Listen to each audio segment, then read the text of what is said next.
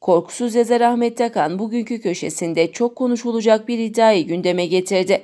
Takan, Cumhurbaşkanı Erdoğan'ın yeniden Cumhurbaşkanı adayı olamaması halinde yerine Hulusi Akar'ın düşünüldüğünü yazdı. Takan'ın bugünkü yazısı şöyle. Saray iktidarında kardeşlik anlayışı ve ilişkileri epey tuhaftır. Size bize hiç uymaz. Zamana, zemine, gidişata, çıkarların örtüştüğü veya çatıştığı durumlara, koltukların pozisyonuna göre değişiklik arz eder.'' Unutanlar hatırlasın. 2007 yılında Abdullah Gül'ün Cumhurbaşkanı seçildiği zamanki havayla 2014'te koltuğu bırakıp avta çıktığı zamandan sonraki olup bitenleri. Kardeşim Abdullah Gül masalıyla ne tezgahlar çevrilmişti canım memleketimde. O süreci perde arkasında 27 Nisan emoturasının da olduğu dolapları aslında Tayyip Erdoğan'ın Abdullah Gül'ü hiç aklından geçirmediğini, AKP'de ikisime birden Cumhurbaşkanlığı sözü verdiğini, hatta onlardan birinin kardeşim Abdullah Gül'ü duyduğu gün fenalaşıp hastaneye kaldırıldığını, Yeni Çağ gazetesinde görev yaptığım yıllarda kapı arkalarını aralayarak kalem almıştım. Yeni bir kardeşim sürecine doğru mu gidiliyor saray cenahında? Vallahi hayır diyemeyeceğim. Abdullah Gül'ün sözcüsü Fehmi Korun'un yazılarında ve televizyon programlarında ısrarla Cumhur İttifakı'nın Cumhurbaşkanı adayı kim olacak diye sorması, sürekli Abdullah Gül'ü işaret etmesi, saray yazarlarının ufaktan ufaktan çark etmesi bunun işaretleri sayılabilir.'' Ama işte bu işin bir daması var ve hatta daha da esaslı bir durum var.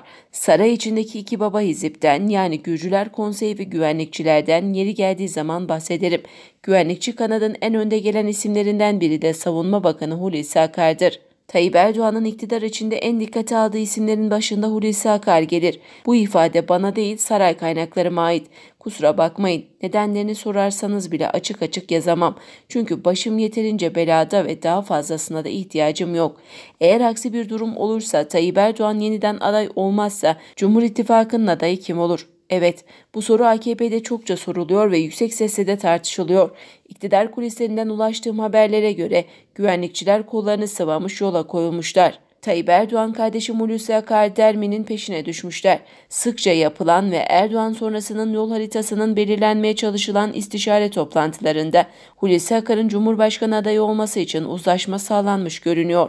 Güvenlikçiler içinde gelişmeleri aktaran kaynağım formülü şöyle izah ediyor. Eğer Tayyip Bey bir nedenle Cumhurbaşkanı adayı olamazsa yerine en uygun aday Hulusi Akar olur.